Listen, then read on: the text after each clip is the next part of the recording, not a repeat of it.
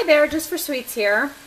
So uh, we made a video of Hawaiian roast pork and I told you I'd bring it back after it was done cooking. It's been cooking for about um, 12 hours and you can see all the juices and everything and how yummy it is. So what I'm going to do now is I'm going to drain off a lot of this liquid and actually I'm going to drain off most of the liquid because I like to keep a little bit of extra in there for juice. And then we're going to shred it. And I'm going to put half in a container to make some tacos with. And half to make some barbecue pork sandwiches tonight for dinner. I have to go to work, so it's easy for my family if I just pre-make this for them. And then they can I reserved probably about a half a cup to a cup of liquid at the bottom there, probably more like a half a cup. So what we want to do, um, it, actually let me finish saying what I was saying, is that um, it makes it easy for them to um, make dinner and have something good to eat when I'm not here. So sometimes I like to pre-make these meals and these are easy ones to pre-make and I enjoy doing it. So, okay. So I'm going to bring this closer to you. This is my container for the part that I'm going to put aside. I've got some barbecue sauce, some smoked paprika, and some pepper, but if you watch the other video on um, prepping this, ow, that was hot. You'll see that, um, see how tender it is? It's falling apart. You'll see uh, that I put salt and all that stuff on it before. So it's already pre-seasoned. Wow, that was really hot. I didn't expect it to burn me. Okay. So let's see here. Okay, so I've got half of the meat in here and half in the other bowl. I'm actually going to shred it all, but I want to kind of get this bone out of there. Now remember, if you watch that video, it was a pork shoulder butt. Okay, see how tender it is? Look at that. I'm trying to get those extra garlic cloves out of there. Not that there's anything wrong with keeping them in there because those are nice and tender as well and give it some flavor. But I'm going to take most of that out. Okay. So now what we want to do is we're just going to take two forks. I have one big fork, one small fork. If you have two big forks, it probably works better. Um, and we're going to go ahead and we're going to shred this pork.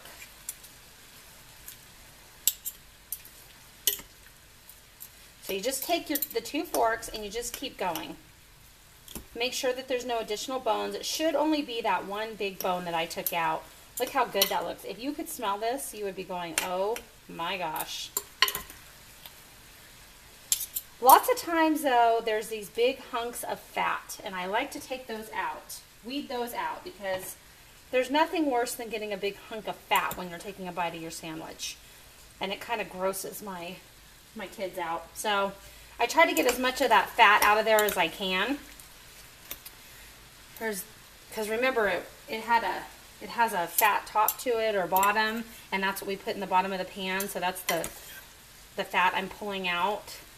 You don't want to pre-trim it though, because if you pre-trim it, then you're taking away a lot of the flavor and the moisture that you get. So you want to just kind of go through and just get that out. So just keep shredding. Remove fat as you go along if you can find it.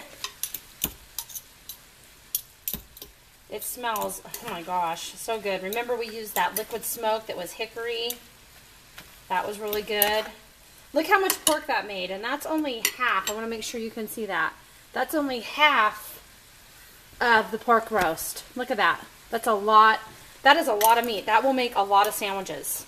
Now this is a great thing to make for your Memorial Day weekend if you're going camping or going out to the lake for the day or, you know, having a big uh, potluck or whatever. These make, they're easy. You can make them quick. They're inexpensive. You can make a lot, a lot of it for a lot of people and you just shred it up. Now, you know, you could use the whole pork roast if you want, but I'm trying to make a, a few meals out of this. I got to stretch my dollar any way I can. So there it is. It's all shredded. We're going to taste it before we put anything in it to see how the seasonings are. There's another piece of fat. Let's get that out of there. Okay. So got a few of those garlic cloves mashed up in here with it, which a little garlic never hurt anybody, right? Garlic is excellent for you.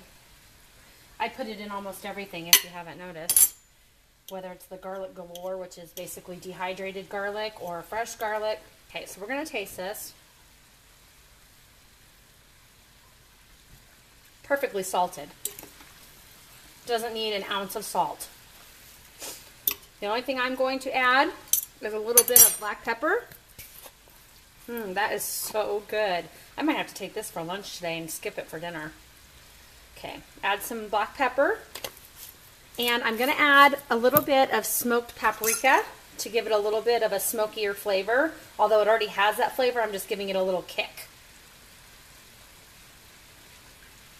One thing that I also do sometimes, except sometimes it gets a little spicy for my kids, is I cook my um, Hawaiian pork the same way you saw me make it, except I add uh, a chipotle pepper that's in adobo sauce. I add one of those in there to kind of give it a little bit of extra kick and a little bit of extra flavor. So that's you know something you could do as well. You could even add that in with the sauce if you want to. I'm not going to do that today because I don't want to make everybody's mouth burn. So then I have just a bottle of barbecue sauce. And you're going to want to mix that in there. You can leave a little bit, use about three quarters of the bottle. And I'm using a sweet and spicy barbecue sauce because we like that little bit of spice. And you're going to want to mix that all up in there. Oh, smells delicious. Use any kind of barbecue sauce you want. You can make a homemade barbecue sauce. You know, actually, if you watch my video, oh, well, actually, I haven't made a video yet. Here I am. I'm thinking ahead of myself. Um, I told you in another video of mine that I made a sweet potato potato salad the other night. And that would be excellent with this. It had a hot bacon dressing over it. It was so yummy, and it would be a great complement to this sandwich.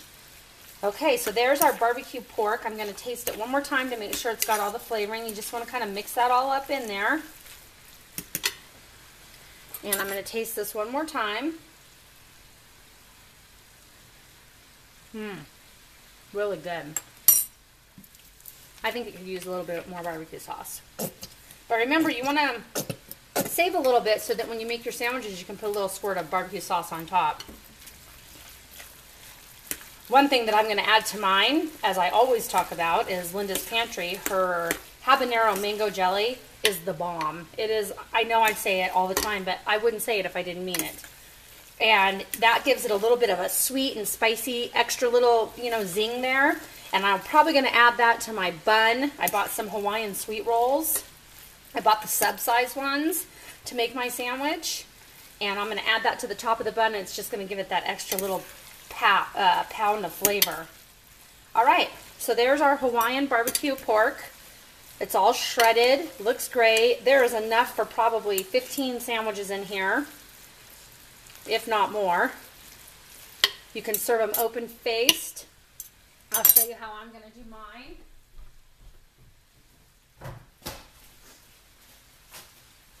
So I have my Hawaiian sweet rolls, and they're not, when you buy them sub-size, they're not much bigger than a regular sweet roll. There's only six of them, so I'm not going to make it because I need them for, for dinner tonight. Um, but, you know, they're a little bit bigger. The rolls are cut in half of that, but these are the best. And I just buy the um, original Hawaiian sweet. And you're just going to open those up and pile this inside and add um, some extra barbecue sauce, and if you're me, you're going to add some habanero mango jelly to it. Serve it with um, a side of coleslaw or some sweet potato salad, which I'll get a video out for that. I am serving mine tonight just with um, some beans because I'm not here and I need something easy for my family to um, heat up. So this is just some steakhouse beans that they're going to heat up with it. Serve it all together and you've got a great easy, fast. I put it in the, it took me 10 minutes last night to prep it, and it's taken me 10 minutes to, to sauce it and shred it, and it's ready to serve. So in 30 minutes, you have a cheap, inexpensive, yummy, delicious, restaurant quality meal. Um, last but not least, you saw me put that aside, and what I'm going to do is I'm going to go ahead and pre-shred this with the same forks, and there's you see all the seasoning on top from when I I seasoned it. There's a lot less fat in this side of it uh, because the bottom was where the fat, most of the fat was. So I'm going to go ahead and shred this just a little bit. I want to shred it before it gets cold. You want it to be hot or warm when you shred it. And this I'm going to put in a baggie and I'm going to set it aside, freeze it probably. Um, I might even add a little bit of that adobo chipotle to it because out of this side, I am going to make some uh, pork tacos. So, and this will make a lot of tacos as well. So I hope that uh, you get some good ideas out of this. One thing I will probably make is an avocado pico de gallo. Oh, that's not a big chunk of fat. Um, to put in it. And I have some fresh cilantro and I have some lime and I'll make a sour cream sauce to put inside this or we'll just serve it by itself because uh, not well I love sour cream but not everyone in my family loves sour cream. All right so now we've shredded this side of the pork. So look at all that shredded pork that we have for for uh, pork tacos. You could also make some uh, pork enchiladas if you wanted to but look at all that wow that's a lot of meat so like I told you in my other video, you'll have to go back and see the price. I think that this pork, the pork and all the ingredients that I that I put in it cost me less than $20 or right around $20. And how many meals are you getting out of that? That's that's a lot. So anyway, um, I hope you had fun with this. If you have any questions or comments, feel free to, to leave them on my page.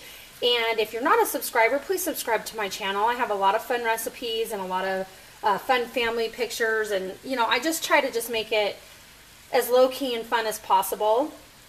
Um, if you like this video, please push the like button. I've had a couple people push dislike buttons and, you know, you can dislike it and leave me a comment, but I just, if you don't like it, you don't watch it. So, you know, that's the way I feel. I don't dislike anybody's videos, but everybody is who they are. Um, anyway, I hope you have a wonderful day. Serve some shredded pork this weekend for your Memorial Day fun. And, you know, serve it with some salads and some beans and just have a good time. And uh, I'll see you the next time. Have a great day. God bless.